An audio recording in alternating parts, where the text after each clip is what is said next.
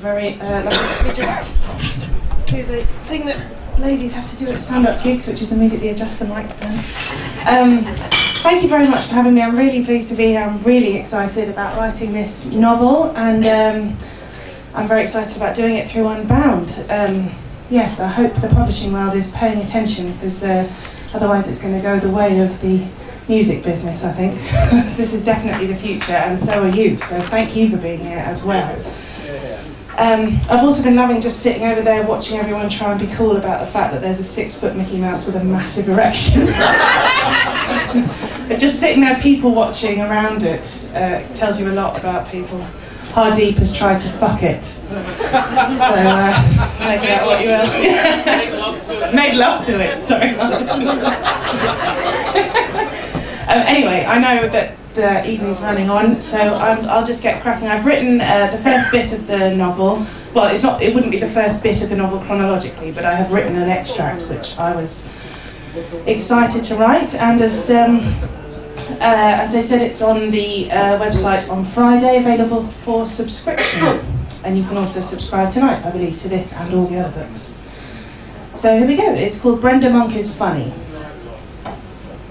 Brenda Monk arrived at the gig early, hoping to clear and calm her jangling nerves, perhaps even take some psychological possession of the room before it took on a life of its own. A comedy club is like a feral animal that can spook easily, and she knew from her own observations of Jonathan and others that you don't just run in with a lasso, screaming your head off and throwing your weight around. You had to crouch in the corner for a while, show it some respect, whispering silkily and gaining the room's trust before you could tie a rope gently round its neck and lead it quietly home. She had been to this particular venue in South London several times before, but only ever as Jonathan's girlfriend, waved in by the grinning security guard on the door, who always managed to emit this mixture of deference and amusement that made her nervous. Tonight he greeted her with the usual bouncing nod. Jonathan on his way? Mm. Brenda shook her head. No, not tonight. It's, uh, it's just me tonight. The bouncer frowned for a moment but decided not to trouble himself too much with any further analysis. Analysis was not really his strong point. You enjoy the show then, love? Brenda hesitated, debating whether to correct him, but decided against. He'd find out in good time when he saw her on stage. And in any case, she didn't want to make this any more real than it already was. She passed through the heavy door and into the darkness. As her eyes adjusted, the smell was just as it always was rubber, inexplicably, stale alcohol, and faintly toilets, although that could have been her imagination filling in the gaps left by the visuals. It made her queasy, not just because it was unpleasant in itself, although it was, but because it was an aroma suited to a busy room filled with drinkers come for a good night out. Under those circumstances, the stench was familiar, comforting even, but she didn't yet have a frame of reference for an empty room that smelt like this. Not quite empty, though.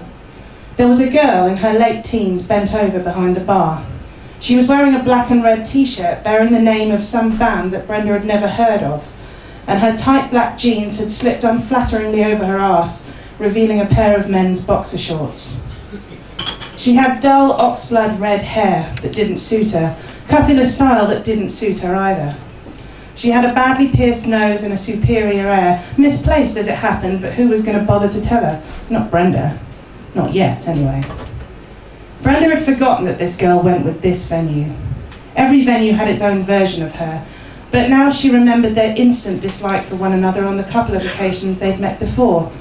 This girl had a bit of a thing for Jonathan, she now recalled, and had made extremely crude attempts to get and hold his attention when he had done gigs here in the past. The fact that Jonathan had both given and sustained his attention when it had been demanded by the girl was a source of great irritation to Brenda, who always then felt conflicted over whom she disliked the most, the girl or Jonathan. To be fair, upon later reflection, she usually found it was Jonathan. Thank you. the girl was currently engaged in emptying a dishwasher of glasses and stacking them on the shelf below the optics in preparation for the evening show. As Brenda approached, this metallic smell and cloying warmth of the steam from inside the dishwasher hit her full in the face like a vomit cloud. Brenda stopped for a moment and gagged. The girl looked up. Jonathan's not here, she said and turned away. Yes, I know he's not, said Brenda. The girl shrugged. Broken up, have you? Is Martin out the back? Brenda asked. Dunno, it's a bit early for Martin. Okay, thanks. Brenda walked past the bar, fighting an urge to mess up the arty arrangement of beer mats advertising licorice flavoured shots, and went over to the matte black door laid discreetly into the matte black wall to the side of the stage. Ah, yes, the stage. There it was. Four black blocks on steel legs, each around a foot high, jammed together in front of a heavy black drape. A microphone in a microphone stand, its long wire snaking away down to the side and off. And that was it. Nothing funny about this stage. Nothing funny at all. The only funny thing about this stage was who was on it. And in about an hour and a half, that would be Brenda, for a full 10 minutes. Within the rush that suddenly surged through her brain, she managed to note a tiny tingle, an as yet unpopped kernel of madness, a sliver of thrill. She would either make this stage funny tonight, or she would be enveloped in its silent blackness, buried alive in the softest of shrouds. She would either kill or die, for that was the language of stand up comedy. And where she used to roll her eyes at the overblown, absurd masculinity of these warlike epithets, suddenly, in a white magnesium flare, she got it. She was a warrior, a gladiator, a mini egg. Brenda turned round to find Martin standing behind her, holding a yellow bag of sugar coated chocolate. Brenda took a handful and started crunching them hard, grateful for a new noise inside her brain. Still up for it then? Martin raised a wiry grey eyebrow. Brenda tipped her chin to a scornful angle and sucked her teeth. Of course I am. Who do you think I am? I'm going to fuck this place up. You'll never have seen anything like it in your life. You'll be begging me to stop before someone ruptures something. Martin raised a hand to stop the flow, and Brenda abruptly shut up. Aware she was now breathing heavily through her nose, she felt her breasts rising and falling. Too big, too big, too cumbersome, not flat and swift and aerodynamic enough for this lark, and a redness creeping up around her neck. She was a fraud. She was sure they both knew it, and imitating the combative style of the more established stand up comedians as they psyched each other out backstage only served to underline the point. This was a terrible mistake. She could leave now and no one would think any the less of her. Well, except for Brenda herself, but what did that matter? She'd let herself down before. Jesus, if you can't let yourself down from time to time, then we're all doomed, and anyone who says different has clearly never been on a diet. Martin knew she would fail, it was obvious. She'd be on stage, the yawning silence threatening to swallow her whole. She'd forget all her jokes. Word would get out that she, Brenda Monk, Jonathan Capes, on, off, on, fuck buddies as an experiment, on, off, let's just try being friends for a bit, on, off, definitely now off, oops, on again, girlfriend, had actually thought she was funny. That would be the biggest laugh of the whole evening. She framed herself to turn and leave, just as the door swung open and in swaggered Rossley Barnes, a rangy, long haired Australian comedian in grey jeans, studded belt, large boots, and a leather jacket whose own personal confidence, won from years of experience, appeared to know no bounds. Hey, Brenda, is Jonathan on tonight then? No? Brenda jumped as she heard her come out, her voice come out deep and low with a strong West Country accent. Then she realised it was Martin talking. Brenda is. Rossley's reaction said it all. He pretended to collapse and die on the floor. It was a long, loud, drawn out death, and when Brenda looked round, she could see the girl behind the bar laughing ostentatiously. Get up, Rossley, a woman pissed herself right there last week, Martin said. Rossley stopped and leapt to his feet. Brenda smiled at him sweetly, offering her hand as he steadied himself. So, you're going on, are you, sweetheart? Yep, so you better dust off your best jokes, or you're going to look pretty amateur. Strong words, female, strong words. No, Jonathan? No? Well, let me say this. If you're funny tonight, I'll fuck your brains out. How about that? Rossley had a glint in his eye that was not unappealing. He had a reputation for somehow getting away with the most profoundly crude material and not for nothing. Brenda looked at him, breathing in the thickened atmosphere produced by a combination of recklessness and control, the comedian's two principal weapons of choice. She could learn from Rossley. And if I'm not funny, he paused, perfect timing. I'll still fuck your brains out. I'd say that's a pretty good deal for you, babe. And then Brenda started to feel excited. And for you too, she said. You get to fuck me either way. either way, eh? Rossley arched an eyebrow. How about both ways? Brenda let out a shout of a laugh. Rossley regarded her for a second, assessing the impact of his little witticism, and then, having made a mental note of the gag and rated it according to his own personal criteria, he moved off with Martin, striking up a conversation about the running order. Brenda followed them to the, back, the matte black door in the matte black wall that led backstage and walked through. The door led straight into a small, shabby room with a toilet room to one side and another door at the far end, beyond which lay an even smaller room that served as Martin's office, where Martin and Rossley were bending over the desk, scrutinising the order in which the comedians would go on. Brenda guessed that Rossley was trying to make sure he had the sweet spot. The first act on after the interval, when the crowd would be nicely warmed up, refreshed from a short break, but not too tired to listen and laugh. This was surely why Rossley had turned up early, a comedian of his calibre would never normally bother to arrive until half an hour or so before the show started, at the earliest. So Brenda idly wondered what his agenda was. Perhaps he knew something she didn't. Perhaps there was to be someone important in the audience that night. Next to the office was a man sized space with a worn red velvet curtain hanging over it, slightly too short and too narrow, but big enough to enjoy a final hidden moment before stepping out into the full beam of the spotlight. The lack of a door here meant that the other comedians waiting their turn had to be quiet when the show was on, forced to listen to all the other acts, the triumphs and the tragedies. There was no escape from the pressing judgment of one's peers here, and the awareness of this silent, hidden audience was probably the most intimidating aspect of performing at this particular club. In other, larger venues, the green room was a distance away from the stage with a door or two in between.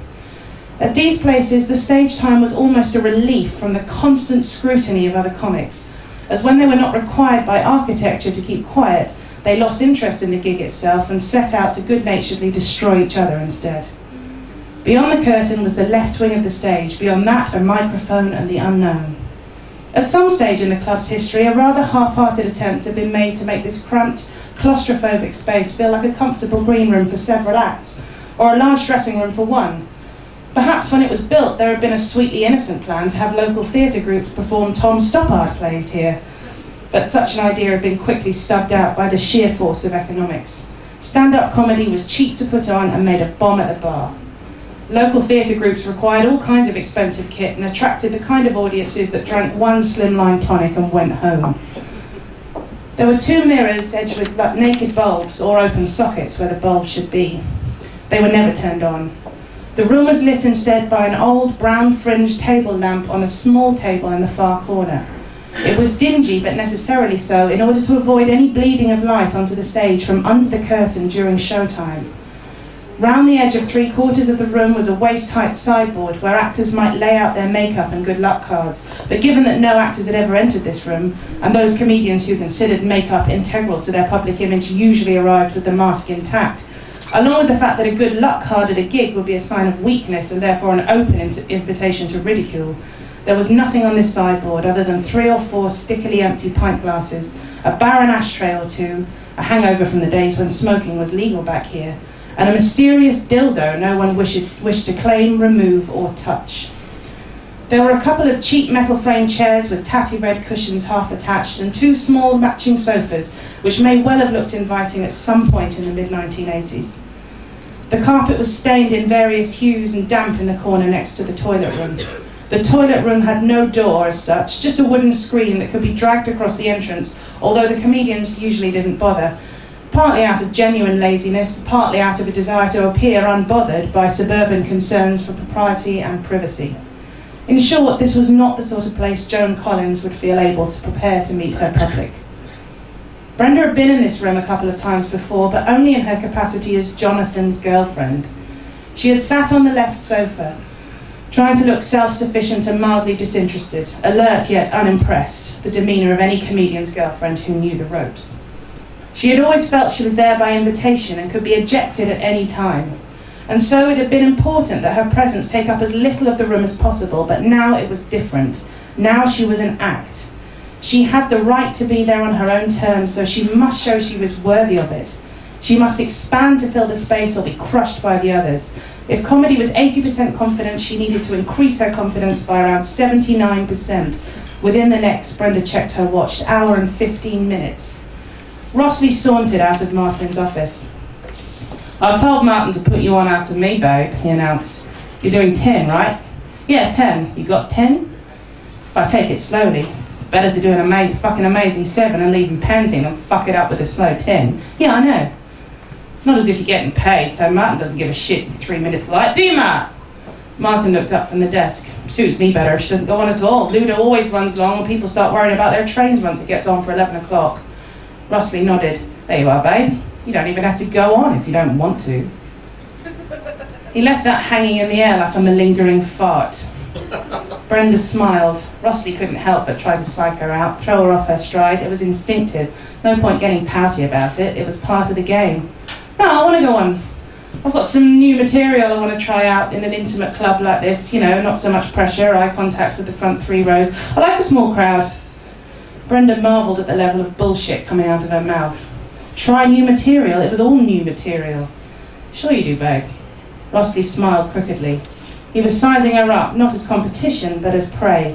Brenda smiled back, realizing just in time that appearing confident was more important than feeling confident. Lesson one. Rossley broke the atmosphere by opening his bag, looking for the CD of music he wanted Martin to put on when he walked on stage. Brenda breathed out silently and felt for her small notebook in her jacket pocket. She sat down on the left sofa and, pulling out a pen, she opened the book and started copying her set order onto the back of her hand. It was a waterproof pen, which meant that the set order would remain on the back of her hand for anything up to a week. But at least it wouldn't rub off when she started sweating, and she had already started sweating. The door to the green room swung open again, and a stocky man in his early 40s grunted into the room. Rossley glanced up. Hey, Mike, buddy, you look like shit. You got cancer or something? Mike Smith adjusted to the small but deliberate body blow and dumped his rucksack on the floor. It's full blown AIDS, actually, Rossley. I think I got it when your mum let me butt fuck her in Melbourne last year. Rossley smirked and nodded and went back to looking for his CD. Brenda sniggered to herself. Mike noticed her sitting on the sofa and frowned. I thought Jonathan was in Birmingham tonight. He is, said Brenda. So. Mike looked at her with a quizzical expression. I'm going on. Brenda heard herself say these words, and once again the reality lurched in her stomach like a bad prawn. She's got some new material she wants to try out, right, Bren? Rossley's voice leaned into Mike's mounting confusion. Oh, right, I didn't know. I mean, I, I, did, I never realised. So you better not fuck it up tonight, Mike, because Brenda's bringing the good stuff. Mike narrowed his eyes for a fraction of a second. He'd been on the circuit for over 10 years now and never got above club level, never even made it to headliner. To Mike, anyone was a threat, regardless of experience. Mike had seen enough people start after him, climb past him, and never glance back down the crevasse to see if he was okay so he couldn't afford to be generous. Brenda just studied her hand while Mike walked into the toilet room and unbuttoned his awful black jeans. As the sound and smell of piss, fermented on the long tube ride down from Acton, filled the room, Brenda gagged again. Was this really what she wanted? Rossley's words played in her head. You don't even have to go on if you don't want to. Did she want to? Did she? She closed her eyes. She imagined getting up, making her excuses, walking out of the black door, through the bar, past the security guard, and back out onto the street. She pictured hailing a cab and climbing in. She pictured telling the friendly, fatherly cabby her address and sitting back, watching London slide past, not knowing, not asking, not caring, not judging. She would pay the cab, open her front door, slip inside, and pour herself a glass of wine. She would put the TV on. She'd be home in time for The Apprentice if she left now. It would be as if this never happened. Martin wouldn't care, Mike would be relieved, and Rusty would certainly find someone else to fuck, whichever way he pleased.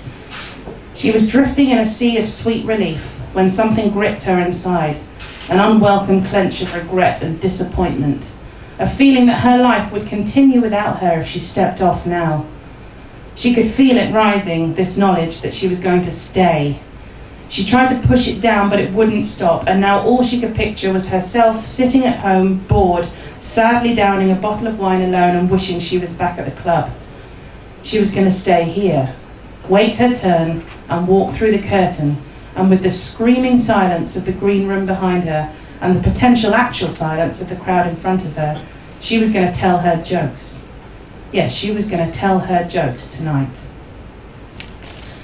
as I got.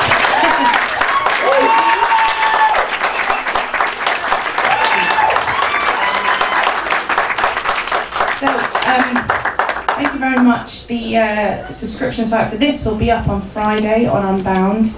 Um, uh, if you do subscribe, then the next bit of the story will be available for you to read immediately. Uh, but uh, here's a little clue she dies on her ass. but there's enough good stuff there for her to do another one. So uh, please do subscribe. If not for me, then for someone here, or perhaps all of us. But thanks very much. Good night.